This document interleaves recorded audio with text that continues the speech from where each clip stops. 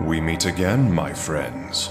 Are you used to your personas now? As you have seen for yourselves, events are moving in an unexpected direction. Only those with a strong will are capable of stopping the flow that has gone awry. From here on, a number of paths will present themselves to you. Down each of them, you will witness the karma of those you meet. But whatever path you choose, remember that the choice was yours and no one else's.